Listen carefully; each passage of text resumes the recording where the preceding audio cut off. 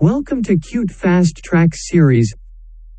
For API Recommended Practice 578 Guidelines for a Material Verification Program for new and existing assets. In this lecture, we will discuss the scope of API Recommended Practice 578.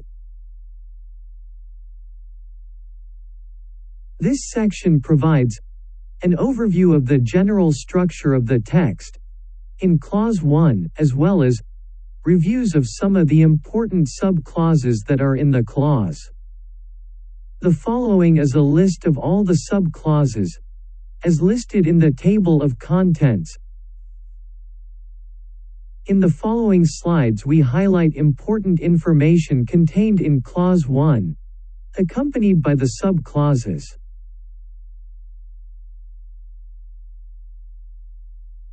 The purpose of this recommended practice is to provide guidelines for an owner, user, to develop and implement a material verification program as part of an asset integrity program.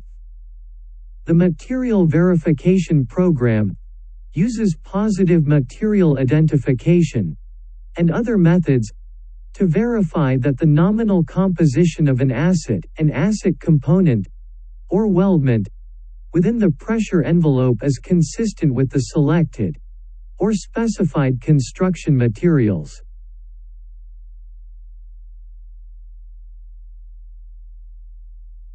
This recommended practice provides the guidelines for material verification programs involving ferrous and non-ferrous alloys during the construction, installation, maintenance, and inspection of new, and existing process equipment.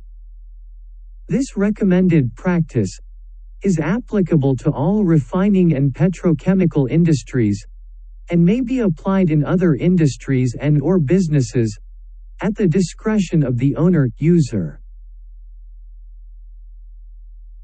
Review questions Question number 1 the material verification program specified by API 578 covers.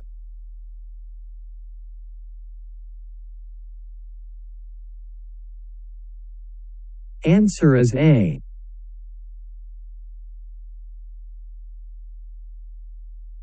Question number 2 API 578 provides guidelines for a material assurance system to verify.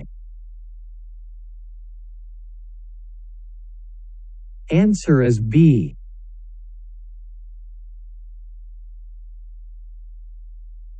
This lecture is prepared by Samir Saad, and this is his profile. Thanks a lot for watching, and please waiting us for next lecture.